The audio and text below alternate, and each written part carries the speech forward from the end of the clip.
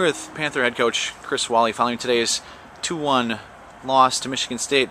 Coach, your goalkeeper makes 14 saves. You come up uh, down one, down one nothing, tie it up, and end up falling. Your thoughts on the game?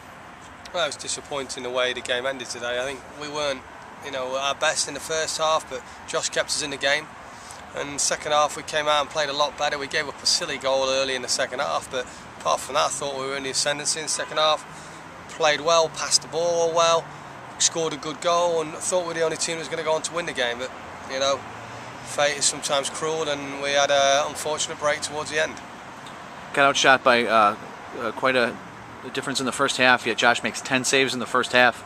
Talk a little bit about his play and how it was you know, good to get to that halftime at 0-0. Yeah, no, I think Josh has come in and he's gone 2 and 2 in his four games that he's played and he's done really well so far. As a freshman to come in and play so well at a, you know, an eight, uh, a big school, you know, in a Big Ten here at Michigan State, and you know, make the saves he made. He made a couple of very good saves. It kept us in the game. I, am you know disappointed for him that you know the game went the way it did because you know he deserved to get something out of today's game the way he played in the first half. 0-0 at half. Michigan State scores uh, the, the, first goal right away in the second half. But then your team, you know, down one nothing, come, uh, comes back and Robert gets that the goal. Talk a little bit about Robert's goal and then just a little bit how your team was resilient in that second half to get the score. Yeah, it was disappointing because we conceded on the set piece, and I think we've been pretty good on them this year. And we had the people in the right positions, we just didn't make a play. But then Robert comes in and he was lively off the bench. He gave us, you know, some pace in behind. He took his goal really well. And it's great that he scored five goals, you know, already this season. That was good. And he started to be dangerous for us. And I thought in the second half we really passed it well. We showed great character and we kept going all the way to the end. And you know, I think we, we were just a bit unfortunate the way it all pan, panned out because we're definitely the better team in the first half, uh, in the second half. In the first half, they, you know, they probably deserve to be up, so maybe it's just the way it goes. The final score of the game, uh, Michigan State scored. Uh, some people in the press box saw offside, some people kind of saw handball, uh, no whistle, and uh, the, the, the Spartan player was able to walk the goal in. You know, you want to share your opinion on that little, a little bit?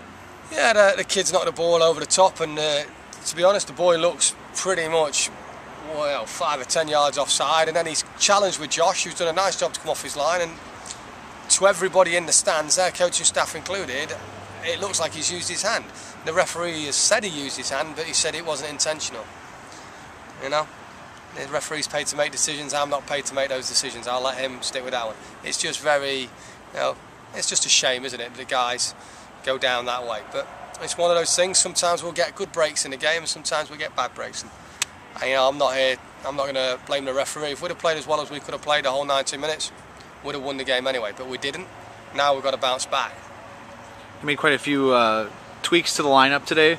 Was that just because of the situation with the, the midweek game and the conference uh, game this weekend, or was uh, was there more purpose behind that? No, I think our bread and butter has to be conference, you know, and we want to make sure we're at the top of the conference. We're doing pretty well in conference right now. Uh, I think some of our guys, you know, Keegan and Saavedra didn't play a lot today and they've played a lot of minutes and physically I think they were worn down and we tweaked the lineup a little bit and tried to give guys some rest. And also some of our guys who haven't been playing a lot probably do deserve some chances. And to be totally honest, I thought in the second half, um, when we brought people off the bench, most of them did pretty well today, which is great.